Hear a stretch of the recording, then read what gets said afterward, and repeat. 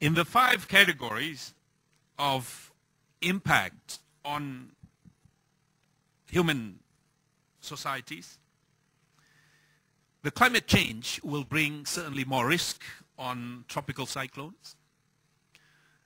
The uniqueness of that cyclone Nargis a year ago was that it never occurred in the lower part of the Gulf of Bengal.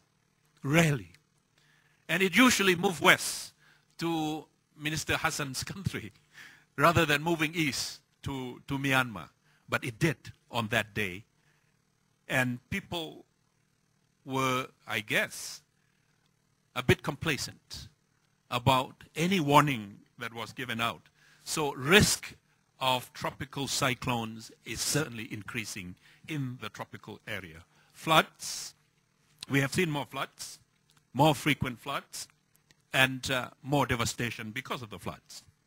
We have seen landslides because of the floods, because habitats, human habitats are also in the hilly areas, and it's all of Southeast Asia we have problems of landslide. Droughts.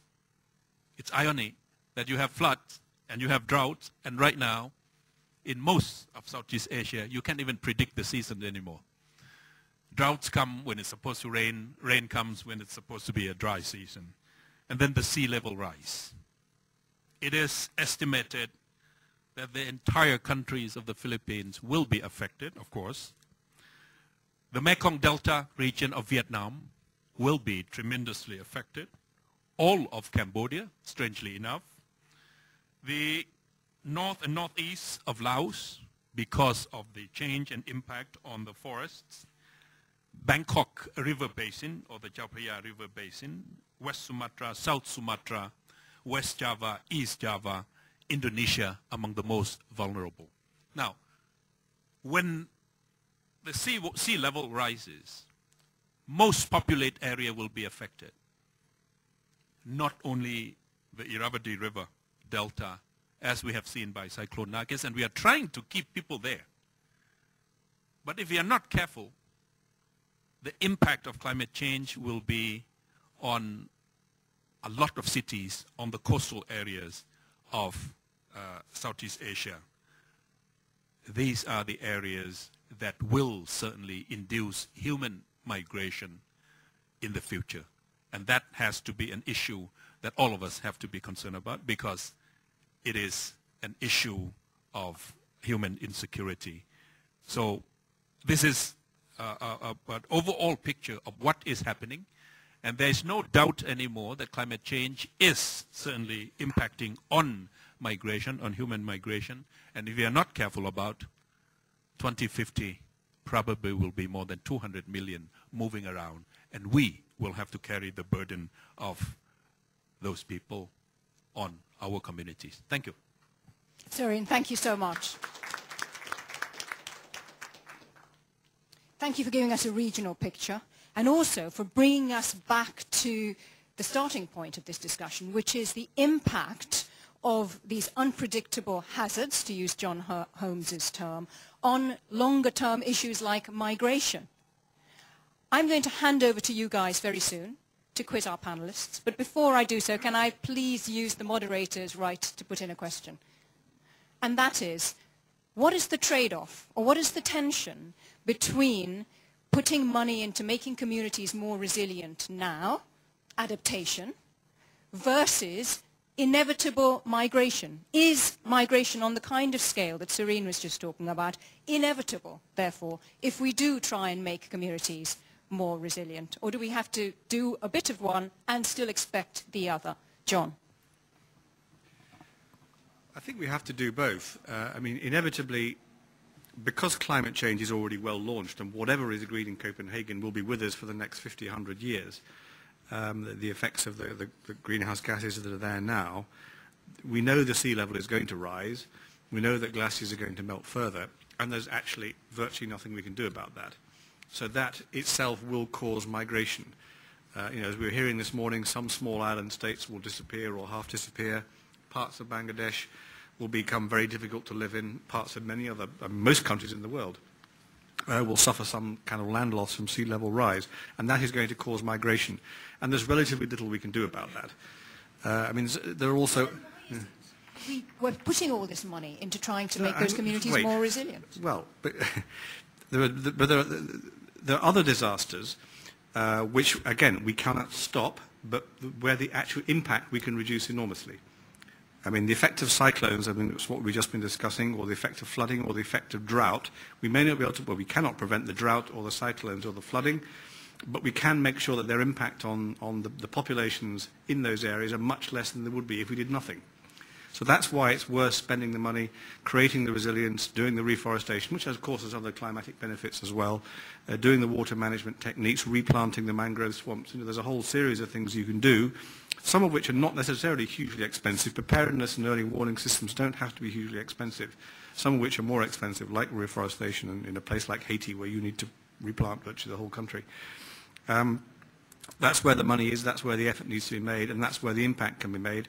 Say others like uh, sea level rise will have some effect on the coastlines which we cannot really prevent. But the, even there, as we were discussing this morning, you, you need to take the actions to think about what you're going to do with the population.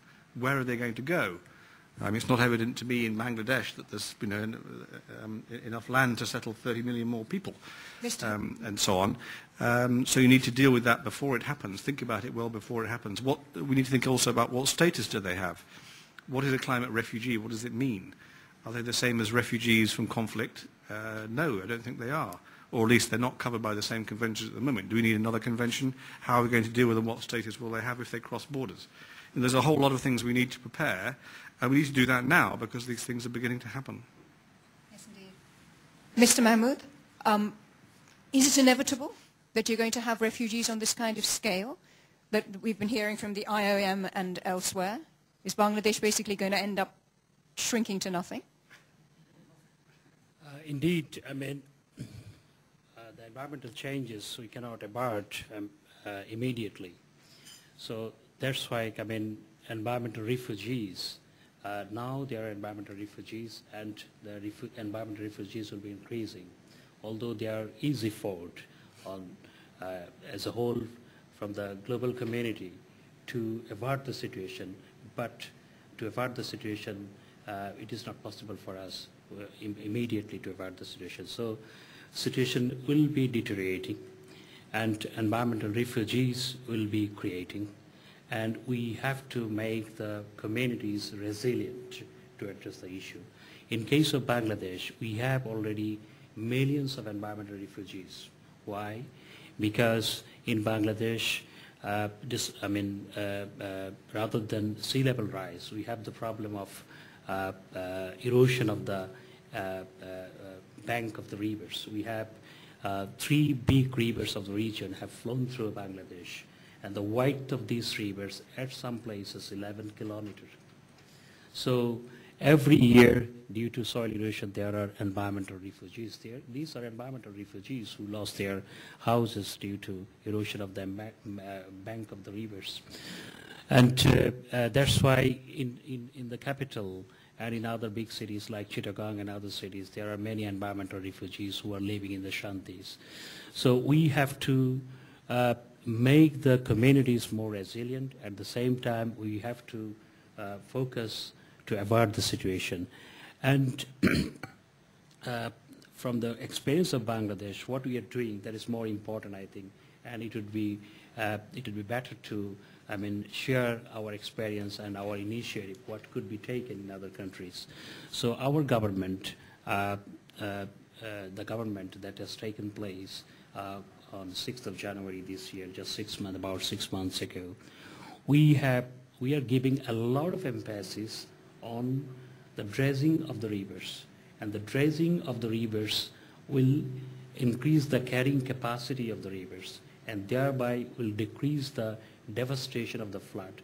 Flood is a regular phenomena in Bangladesh.